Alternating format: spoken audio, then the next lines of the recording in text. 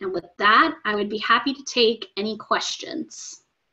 And this is a video of uh, harvest that may not be coming across to you very well through the technology, but we'll, we'll do our best.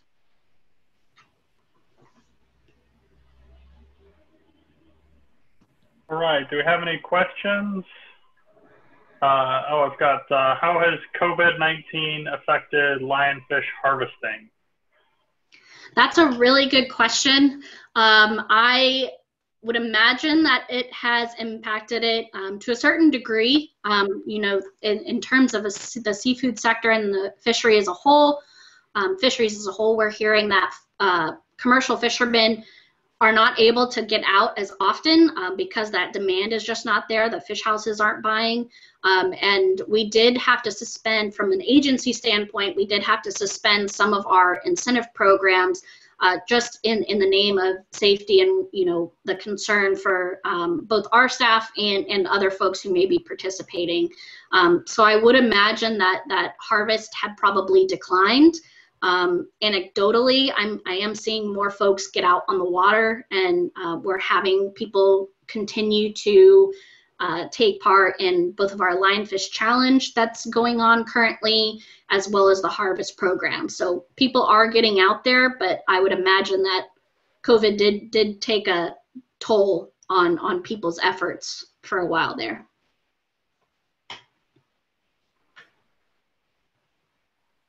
All right, do we have any other questions?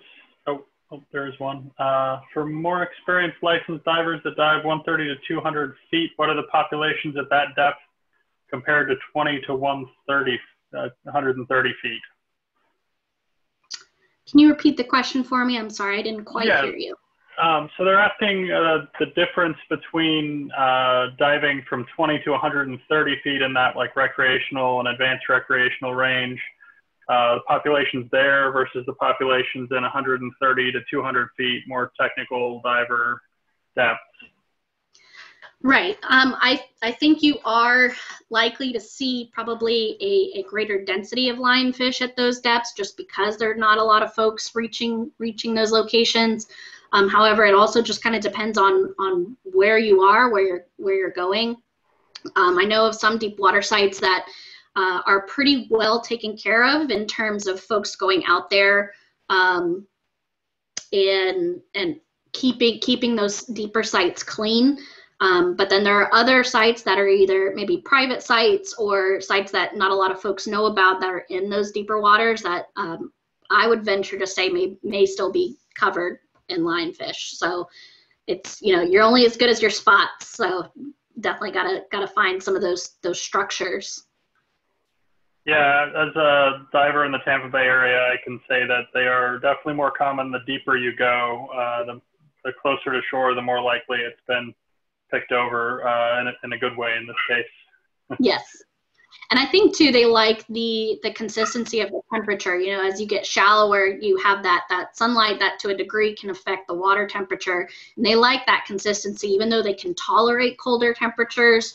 Um, or warmer temperatures, they you know like that that kind of constant cool cooler water. Uh, we've got a question. Could pheromones be used to attract lionfish to a trapping location? That's a really good question. Um, I am not sure if pheromones have been tested, but I know that there's been some research done on sound, and sound is an attractant. Um, lionfish do vocalize, um, so there's been some work on that to see if um, some some degree of that vocalization vocalization could attract them.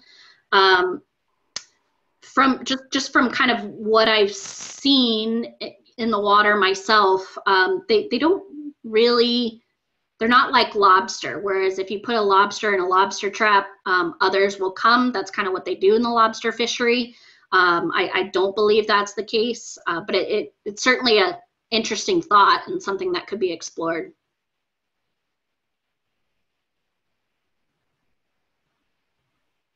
All right, a uh, few questions from Ellen.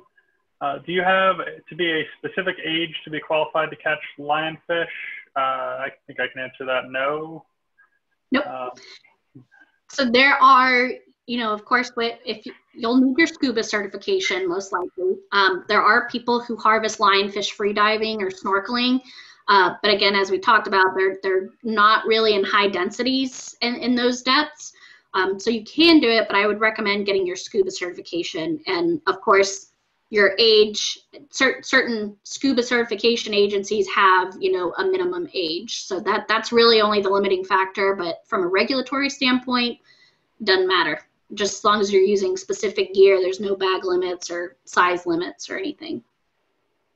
All right. Uh, yeah. So you covered. Are there legal ways to catch them without diving? I'll say I know at least uh, for the Tampa Bay area, that's not a not a likely occurrence. Um, on the East Coast and in the Keys, that's certainly more likely that you'd see them in that 10 to 20 foot depth range where you, you could free dive, snorkel. Um, and then uh, I asked the first speaker about this, but since these are so much more widespread, would it be worth looking into genetically modifying a number of them so they can't breed? Uh, I guess that's similar to the mosquito technology that they're working on. Mm-hmm. Yeah, and we, we've heard that suggestion, and it's something that I, I think has been considered. But uh, one of the, the cautions there is this this species is so well established and, and travels so quickly um, that we would have to likely introduce a very large number of these genetically modified lionfish into the environment in order for them to to have that intended effect of kind of slowing reproduction which you know would exacerbate the problem for for a certain amount of time. Um, so so that's something that i think is makes us hesitant um, and it's unfortunately not like some nice freshwater systems where it's a closed system um, lionfish that settle out in the panhandle may have been spawned in mexico so this is a, it's a very large interconnected system um, that that proves complicated to deal with um, yeah, I, I, think it would be right. It'd be interesting as well to think about the connection to the Pacific through ships. Uh, if you were trying to, you know, when, when we release a biocontrol for plants in the U.S., it can be more assumed that it's not going to leave the U.S. after we do that.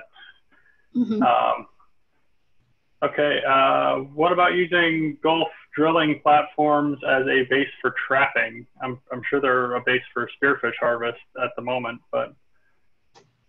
That's really interesting. Um, I actually had not heard heard somebody mention that before. Um, I, I could be. I mean, they people do use rigs um, to spearfish. It's very very popular, uh, especially up in the Panhandle.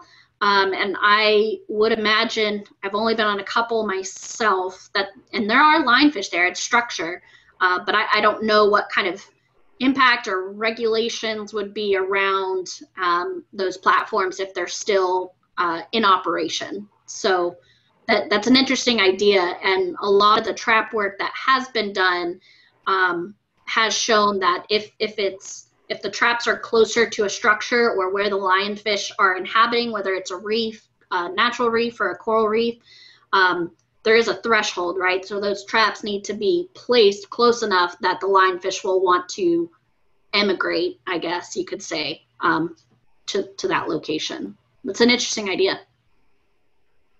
Um, we have another. Uh, what about catching, sterilizing, and releasing? Um, So we could, we could, do that. Um, that that again, that would be a very large effort. Um, as I mentioned, we you know it, we've removed close to three quarters of a million lionfish, and there's still plenty more out there. Um, that would have to be a very large, expensive effort um, in order to do that. And at that point, um, from an agency standpoint, we really just you know if you've already got the fish out of the water, you've already taken out its reproductive ability. Um, so we would just con- say continue harvesting um, the fish and give them to friends, eat them yourself. People make jewelry out of their fins. There's a lot of uses for them. Right, and I, I know like with trap neuter release, you still have all of uh, with cats, for instance, you still have all of the downsides of feral cats as far as bird populations.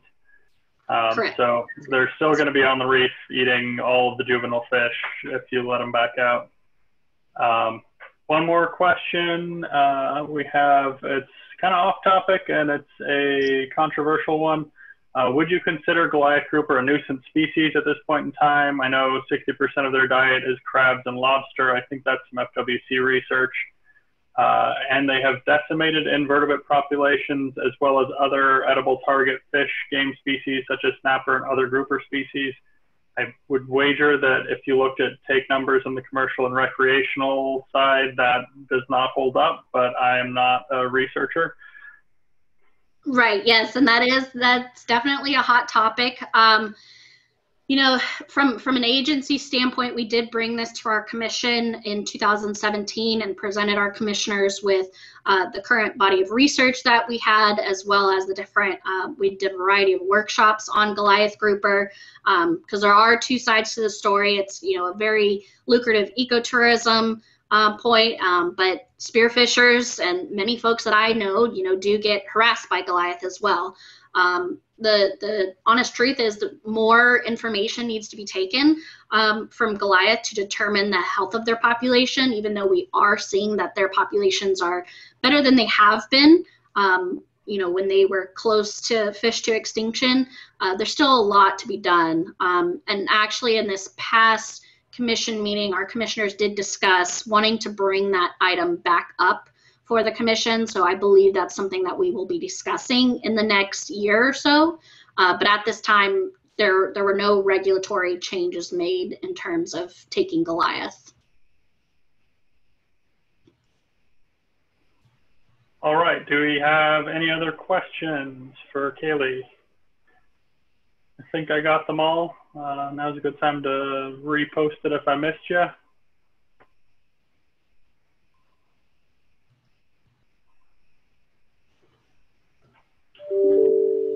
All right, I think with that we can wrap up. We're a little bit ahead, but that's okay. Um, we can stay on a little bit longer if anybody comes up with some questions. But uh, thank you, Kali Spurgin, for uh, talking to us about lionfish. Super interesting. I love spearfishing those myself. And uh, everybody have a good afternoon. Thanks for joining us for the uh, Suncoast Cooperative Invasive Species Management Area workshop here and uh, have a wonderful afternoon. We'll put the slide back up with our website. If you want to get in contact, you can find us through there.